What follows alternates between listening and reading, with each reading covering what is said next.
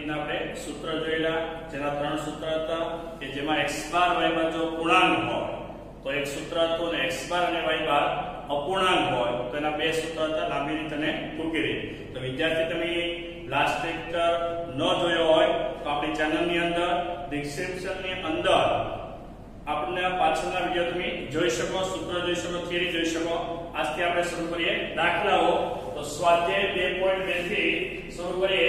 સ્વાધ્યાય 2.1 જે છે વિકિરણ આકૃતિ જે આલેખમાં આવશે, તો આપણે અત્યારે જોઈએ 2.2 પહેલો દાખલો, કે કાલ્પનિકની રીતના દાખલો શું થાય? 5 ગુણની અંદર પૂછાય છે તો રકમ પર ધ્યાન રાખશો તો કે એક સોસાયટીમાં રહેતા સાત કુટુંબમાંથી મેળવેલા નિદર્શમાં તો કે શું તો કે પિતાની ઊંચાઈ સેમીમાં અને તેમના પુત્રની ઊંચાઈ પણ સેમી, સેમીની અંદર આપેલ માહિતી પરથી સહસંબંધાન ગણો.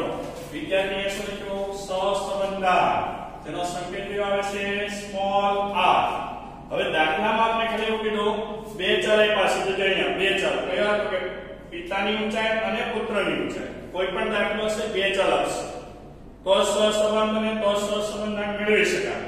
તો સહસંબંધાન એટલે r r નો વિસ્તાર આવતો -1 થી +1 હવે આની અંદર કોઈ રીત નથી આપણે આપણે ત્રણ રીત છે સહસંબંધના અભ્યાસની રીત છે ત્રણ વિકર્ણાકૃતિ કાલ્પનિકની રીત અને ત્રીજી સ્પેરમેનની રીત તો આની અંદર જ્યારે દાખલામાં કોઈ રીત સ્પષ્ટ ન કરે કે વિકર્ણાકૃતિની રીતે ગણો કાલ્પનિકની રીતે ગણો કે સ્પેરમેન આમાંની કોઈ રીત આપણે સ્પષ્ટ દાખલામાં આપી નથી ત્યારે હંમેશા ગોળર પ્રકારની રીત વાપરવી કે જેના ત્રણ સૂત્ર એના આધારિત પ્રજા દાખલો ગણો. તો સાચો ગણાશે યાદ રાખજો કે જ્યારે કોઈ રીતનો કે સહસંબંધાન ગણો કીધો કે આ સૂત્ર કીધો હોય, ત્યારે વિદ્યાર્થી માત્ર કાલ્પનિકના ત્રણ સૂત્ર આધારિત દાખલો ગણીશું રકમમાં જે શું આપીશું તો કે બે ચલની રકમ આપે છે કોષ્ટકની અંદર તો કે એક પિતાની ઊંચાઈ અને બીજો પુત્રની ઊંચાઈ હવે દાખલાની અંદર આપણને કોઈ એસ y સંકેત નથી આપ્યા.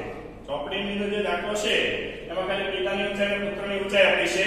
તો આપણે એટલે કોઈ પણ x ને કોઈ પણ y આપવાનું જો એને સંકેત આપી દીધા હોય દાખલા, તો આપણે આપવાની જરૂર નથી. તો આપણે પિતાની ઊંચાઈને x આપો તો પુત્રની ઊંચાઈને શું આપવાનું y. અથવા પુત્રની ઊંચાઈને x આપો તો પિતાની ઊંચાઈને y. તમે કોઈ પણ x કોઈ પણ y પર જવાબ બે રીતે સરખા જ આવશે. તો હવે દાખલાની શરૂઆતમાં શું કરવાનું? તો કે પહેલા જે રકમ છે, x ને y બંનેના સરવાળા અને મધ્યક શોધો. મધ્યક શોધ્યા પછી સૂત્ર નક્કી થાય કે પૂર્ણાંકનો આપણો કે અપૂર્ણાંકનો. તો વિદ્યાર્થી, આપણે પહેલાના સરવાળો કરશું હવે x ના કુલ આંકડાઓ જે છે, એ કીધું સાત કુટુંબમાંથી મેળવેલ નિડર આ નિદર્શના આંકડાઓ છે, x ને y ના સાત સાત જઈને આંકડા, એટલે અવલોકનની કિંમત n બરાબર 7 થાય. કેટલી થશે? 7 તો એ નો સરવાળો કરીએ, એટલે કે પિતાની ઊંચાઈ x નો સરવાળો કરીએ, તો વિદ્યાર્થી કેટલો આવશે? જેને સંકેતમાં સિગ્મા x તરીકે ઓળખાવાય, y ના સરવાળાને સિગ્મા y તરીકે ઓળખાવાય. આ લખવું ફરજિયાત છે અને જો ન લખો, તો અહીંયા શબ્દ કુલ લખો. શું લખવું? કુલ. આ પણ લખી શકાય. તો વિદ્યાર્થી x નો સરવાળો કરીએ કે સાથે સાથે નો સરવાળો કરીએ, તો વિદ્યાર્થી કેટલો આવશે? તો કે 11 69 કેટલો આવશે? 11 69 એ રીતે વિદ્યાર્થી y નો સરવાળો કરશો.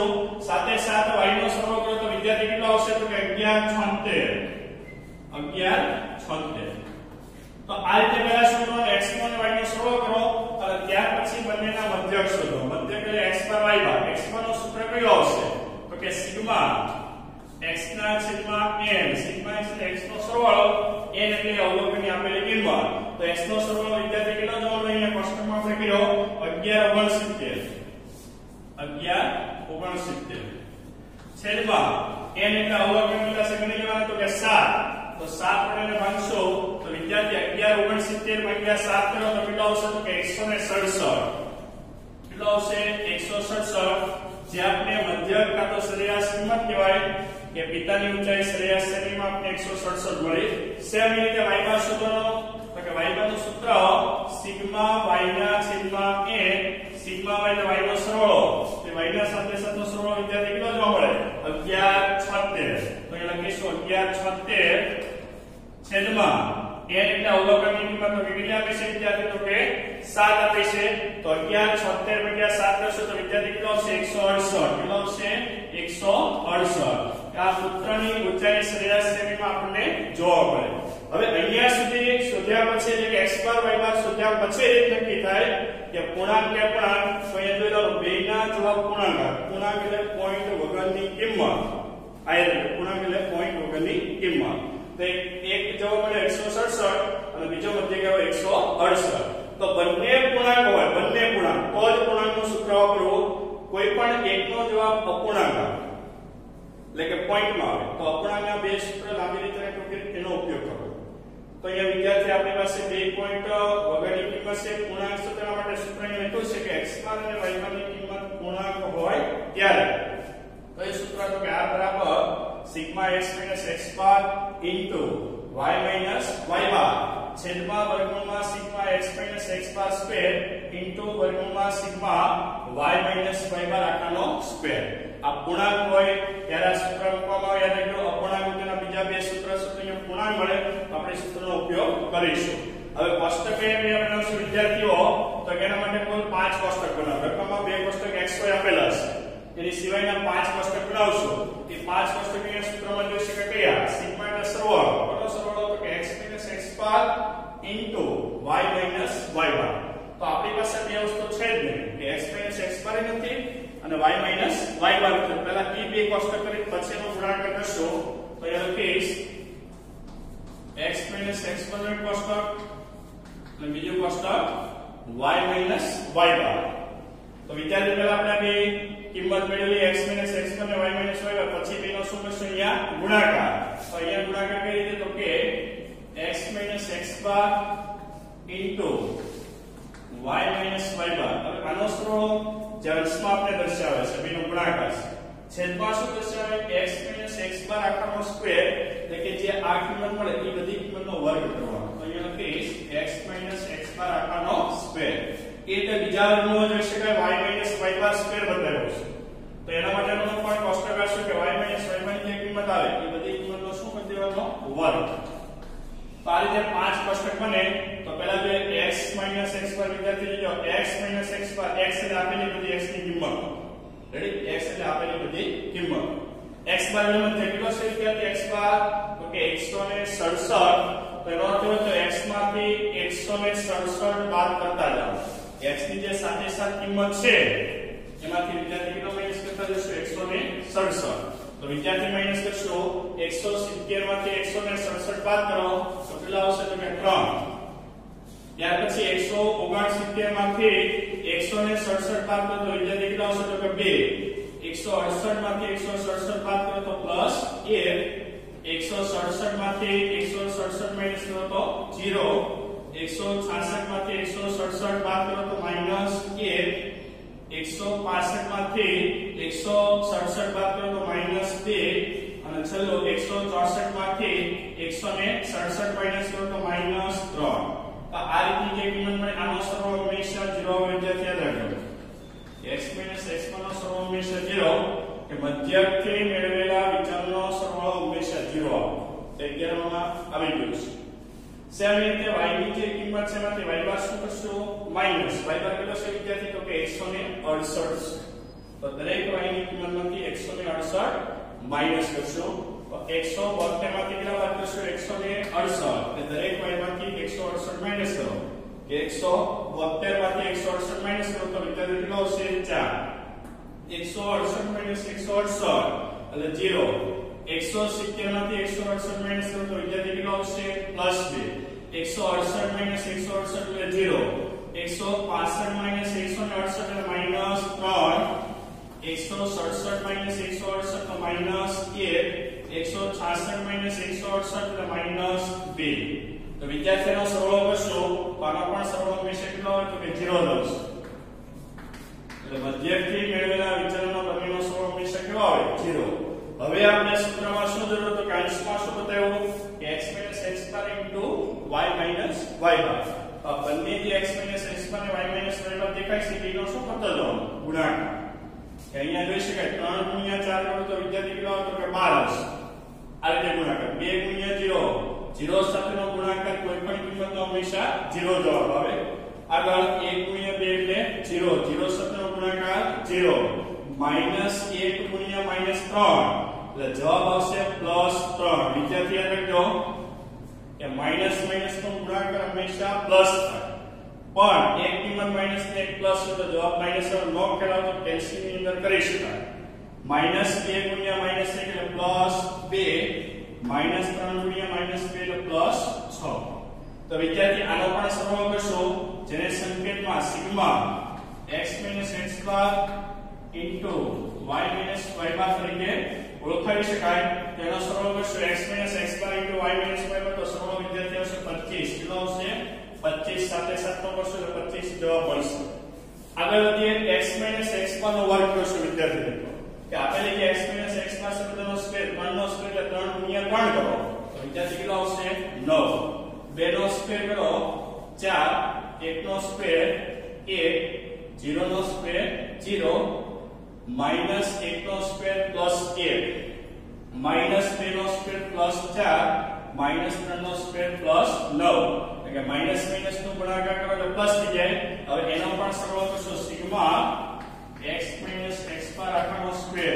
વિદ્યાર્થી, સાથે સાથનો સરવાળો કરશો તો સરવાળો આપણે જોવા મળશે 28 કેટલો જોવા મળશે? 28 સેમ રીતે y y નો પણ અહીંયા શું બતાવ્યો? સ્ક્વેર. એટલે કે 4 4 4 નો સ્ક્વેર કરો તો 16 0 નો સ્ક્વેર 0 2 નો સ્ક્વેર 4 0 નો સ્ક્વેર 0 માઇનસ 3 નો સ્ક્વેર તો પ્લસ 9 માઇનસ 1 નો સ્ક્વેર પ્લસ 1 માઇનસ 2 નો સ્ક્વેર પ્લસ 4 તો આ રીતે એના પણ સાથે સાથે અવલોકનનો સરવાળો કરશો એના સંકેતમાં sigma y y bar square વડે ઓળખાય તો વિદ્યાર્થી સાથે સાથનો સરવાળો કરશો તો 34 મળશે કેટલો મળશે 34 તો આ રીતે કોઈ પાંચ કોષ્ટક પહેલા ગણવાના x x બાર પછી y y બાર પછી બંનેનો કિંમતનો શું કરતો જવાનો ગુણાકાર. અને પછી બધી કિંમતનો શું કરવાનો વર્ગ કરવાનો. આ રીતે પાંચ કોષ્ટક હવે વિદ્યાર્થી જોશો આપણે એના સૂત્ર. તો કે આ સૂત્ર મૂકશો? R બરાબર પૂર્ણાંકનું સૂત્ર sigma x x bar y y bar છેદમાં વર્ગમૂળમાં sigma x x bar square into બીજા વર્ગમૂળમાં સિગ્મા y y બાર આખાનો સ્ક્વેર તો આપણો પૂર્ણાંકનું સૂત્ર છે કે x બાર y પૂર્ણાંક હોય, ત્યારે સૂત્ર મુકાશે અહીંયા સરવાળો મૂકવાનો સિગ્મા એટલે સરવાળો કોનો તો કે x x બાર અને y y બાર નો જે ગુણાકાર કર્યો છે, એનો સરવાળો તો વિદ્યાર્થીને જોવા મળે કે બેનો ગુણાકારનો સરવાળો કેટલો આવ્યો છે? તો કે 25 અંશમાં મૂકશું 25 છેદમાં જે શું થશે? તો કે સિગ્મા x x બાર આખાનો વર્ગ. કે જે x x બાર નો વર્ગ કર્યો, એનો સરવાળો વિદ્યાર્થી તો કેટલો જોવા મળે છે 28 તો વર્ગમૂળમાં મૂકવાનો 28 ગુણ્યા બીજા વર્ગમાં શું થશે? તો કે સિગ્મા y y બાર આખાનો સ્ક્વેર. કે y y બાર સ્ક્વેર કર્યો એનો સરવાળો જોવા મળે તો કેટલો છે વિદ્યાર્થી? તો કે 34 આ રીતે કિંમત પેલા મૂકવાની. હવે અંશની કિંમત 25 છે. 25 ના 25 મૂકશો છેદમાં બે રીતે કરી શકાય. કાં તો બેનો પહેલા ગુણાકાર થશે પછી વર્ગમૂળ અથવા પેલા બેના વર્ગમૂળ કાઢી નાખો અને પછી ગુણાકાર કરી શકાય. તો વિદ્યાર્થી, અહીંયા પહેલા વર્ગમૂળ કાઢશો 28 નો વર્ગમૂળ કાઢો તો વિદ્યાર્થી 5.29 કેટલો આવશે? 5.29 એ જે સેમ 34 નો વર્ગમૂળ કાઢો તો કેટલો આવશે વિદ્યાર્થી? 5.83 કેટલો આવશે 5.83 હવે અહીંયા છે આપણે પોઈન્ટ પછીના આંકડા કેટલા લખવા? કોઈ વર્ગમૂળ કે કોઈ પણ ભાગાકાર કરો, ત્યારે જે કિંમત પોઈન્ટ પછીના બે દાખલા લખવાના. કેટલા લખવાના? બે. કેલ્શિયમ તમને અનંત સુધી બતાવતા હો. લખવાના બે. ત્રીજો અંક જોવાનો ખાસ કે 29 પછીનો આંકડો 5 કે મોટો હોય. એટલે કે 5 એકો. 29 પછીનો 5 એકો, તો એ 30 લખાય. 6 એકો 33 ચાર ત્રણ બે એક હોય એટલે પાંચથી નાની હોય તો ઓગણત્રીસ નો ઓગણત્રીસ એટલે પોઈન્ટ પછીના માત્ર બે અંક લખવાના એનો ત્રીજો અંક જોવાનો તો પાંચ કે તેથી મોટો હોય તો એ પ્લસ થશે ઓગણત્રીસ ના ત્રીસથી તો આ જે બે ના પેલા વર્ગમૂળ આવે છે છેદનો ગુણાકાર કરશું પચીસ ના છેદમાં કોનો ગુણાકાર તો કે પાંચ પોઈન્ટ ઓગણત્રીસ ગુણ્યા પાંચ પોઈન્ટ ત્યાસી કરશો એટલે આવશે ત્રીસ પોઈન્ટ ચોર્યાસી કેટલો આવશે વિદ્યાર્થી ત્રીસ પોઈન્ટ ચોર્યાસી વિદ્યાર્થી હવે શું કરશો? ભાગાકાર 25 ના છેદમાં 30.84 બેનો ભાગાકાર કરો તો આનો જવાબ આવશે 0.81 કેટલો આવશે 0.81 તો વિદ્યાર્થી, આપને આ રીતે સહસંબંધાંક મેળવો. જવાબ આવ્યો r બરાબર 0.81 તો અહીંયા એવું કહેશે કે આ પ્લસ જવાબ આવે તો ધન સહસંબંધ અને માઇનસ આવે તો ઋણ સહસંબંધ જે આપણે પેટા પ્રકાર પણ જોઈ ગયા. હવે અર્ધઘટક કે અર્ધઘટન તો દ્રવ્ય થાય પ્લસ 1 ની નજીક છે. પ્લસ 1 આવે તો સંપૂર્ણ ઘન કહેવાય. પણ એની નજીક છે પ્લસ 1 જવાબ આવ્યો નથી. પ્લસ જવાબ આવે એનો કેવો થાય કે બે ચલમાં એક જ દિશામાં ફેરફાર થતો એક જ દિશામાં એટલે બંને ચલમાં વધારો થતો હશે કે બંને ચલમાં ઘટાડો થતો હશે? ઋણમાં એક ચલ વધતો હોય, તો એક ચલ ઘટતો હશે. તો અહીંયા એવું કહી શકાય, બે ચલમાં કાં તો વધારો થતો એટલે કે બંનેની ઊંચાઈ વધતી હશે પિતા પુત્રની બરાબર કે બેની એક સાથે પણ સમાન રીતે સમાન રીતે ક્યારે વધે? કે જ્યારે પ્લસ એક જવાબ આવે ત્યારે. તો અહીંયા અદ્વૈતમાં લખી શકાય કે વધુ ગાઢ ધન સહસંબંધ છે, વધુ ગાઢ. અને જો 0 ની નજીક આવે તો ઓછો ગાઢ આવે.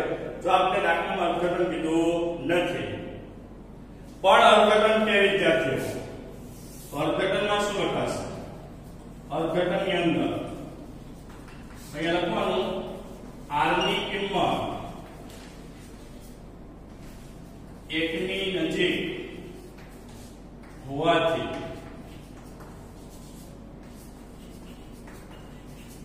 પિતાની ઊંચાઈ અને બીજો ચલ છે પુત્રની ઊંચાઈ. કે પ્લસ એક ની નજીક હોવાથી પિતાની ઊંચાઈ અને પુત્રની ઊંચાઈ વચ્ચે કેવો સંબંધ વિદ્યાર્થીનો કે વધુ ગાઢ વધુ ગાઢ ઘન સહસંબંધ છે આ શબ્દ ઉપર ધ્યાન આપો વધુ ગાઢ અને ઓછો ગાઢ બે શબ્દ આવે, વધુ ગાઢ ક્યારે આવે? 0.50 થી ઉપર જવાબ આવે. વિદ્યાર્થી અર્થઘટનમાં જે આવે r ની કિંમત બે કે 0.50 કે વધુ?